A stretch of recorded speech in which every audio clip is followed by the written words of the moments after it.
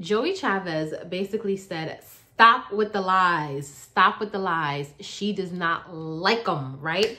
So basically, Joie Chavis is a beautiful young lady. She's a dancer, she's a model, she's an IG girl, she's a fitness girl. She's a beautiful girl, all in all, just very beautiful. And she has three children by three different men, right? And her men are all industry men, right? So we have Bow Wow being her first um, daughter's father.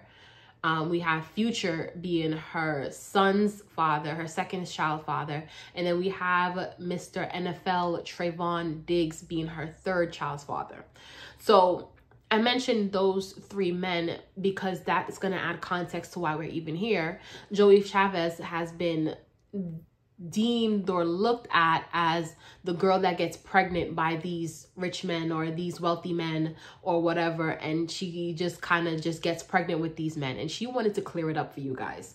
According to the neighborhood talk joie chavis responds to people saying that she's a serial baby mama.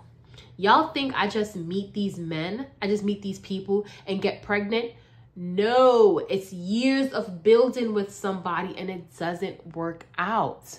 So Joie is saying, look, you guys are looking at me and thanks for giving me the the word neighborhood talk. And y'all are looking at me as a serial baby mama when I'm really not.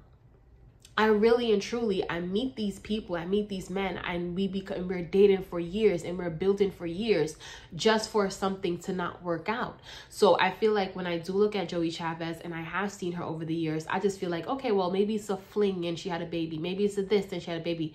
But no, Joie's like, no, I'm smart and I thought something was going to work out that actually didn't work out. And it's many a times we do think that things are going to work out that they don't work out. It happens for us as women, everyday women. We think these relationships are going to work out, that it doesn't um, work out. So I'm kind of happy that Joie kind of added context to her reputation because I feel like her reputation has kind of been tainted in a way where we do see her pop up with these men and then she has these babies and we're like, okay, well, what's going on? Because she's also very private, right? And because she's private, we don't get to get the full scoop. So I'm happy that she let us into her life for a brief moment to say, hey, hey, hey, hey, hey, your perceptions of me aren't quite what they are. And I feel like a lot of times we do get perceptions about Joie because she doesn't quite clear them up. I remember she did this Q&A on her YouTube channel one time and she's like, she doesn't really get paid child support from the men that she has children with. What happens is